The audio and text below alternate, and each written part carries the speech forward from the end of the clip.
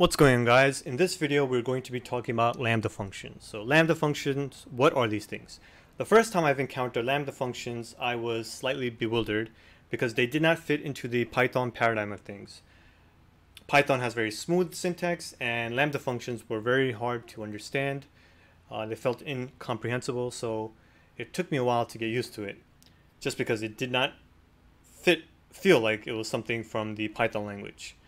But lambda functions are essentially functions that fit into one line. They are a lazy way of creating functions. So when you have functions that you really don't need to create a huge block, you can just create a, a lambda functions, which is a fast and quick, dirty way to create functions. So what I'm going to essentially show you is how we can create functions with lambda functions and what are some of the things you can do. All right. So the first line essentially uses the keyword uh, lambda followed by two arguments. In this case, we're using two arguments, x and y, which are the two arguments, followed by a colon, followed by x plus y.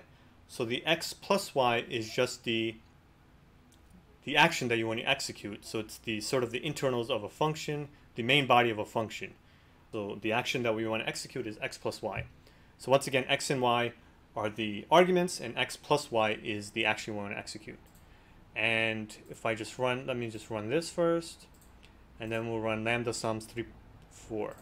And you'll see it executes the internals of the, uh, it executes the action, the internals of the lambda function. And we had saved this to lambda sums, so I'm actually calling this as a function, lambda sums. Uh, now, just to reinforce the idea that lambda is just a function, I'm going to, um, I've created a function called getSum, which is essentially the same thing, takes two arguments and returns x plus y. So I'll run this, and if I run get sum 3 plus 4, which is essentially the same thing as lambda sums 3.4, I should get the same answer, which is 7, which is 7. All right.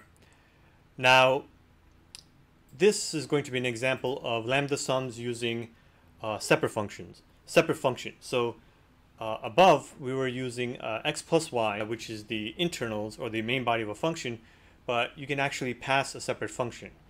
So this is just showing that you don't need to explicitly lay out the internals of your function. You can actually pass a function, which takes the two arguments that you provided in the lambda function.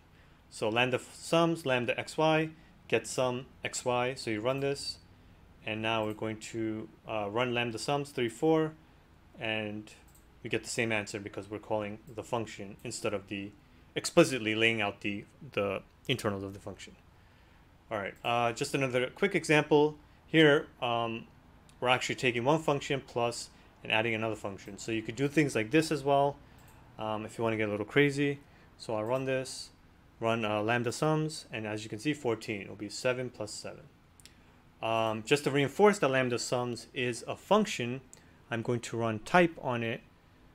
And as you can tell, lambda sums is a function. Here is an, uh, an example without using arguments. So like I said, you don't need to have any arguments. You can have x, y, you can have multiple arguments, you can have zero arguments. And in this case, we're just running os.listdir. And if you run os.listdir without any arguments, um, you're going to get the, the contents of this directory. So you get all the files and folders of this directory. So I'll run this and um, run this and I'll basically get all the contents within this directory. Okay.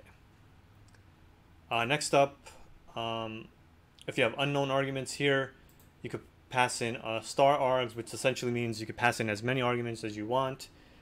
And we're just going to print the args. So here, um, you don't have to specify a certain amount of arguments. You're not fixed, it's a variable. The amount of arguments you're going to pass in is variable. So uh, x321, I'm essentially passing in three arguments. Um, oops let me run this first. Then I run that, and it prints out the args. So it's able to read uh, three arguments. You could pass in two, one. When you use star args, you could pass in as many. Um, yeah, you could also use conditional statements. Um, there's a lot of things you could do with lambdas. I suggest you guys just play around with, play around with it, test it out, and um, yeah, see what crazy things you can do with lambda. So lambda xy here, it's um, we print x if x is greater than y, or we else or else we print y. So here we're using a conditional statement within the, uh, the body of lambda. I'll run this And since in this case y is greater than 3, it should be printing out the value of y, which is 4. So I'll run this. All right, and that's 4. All right, so that was just a quick um, overview or a quick look at Lambda functions.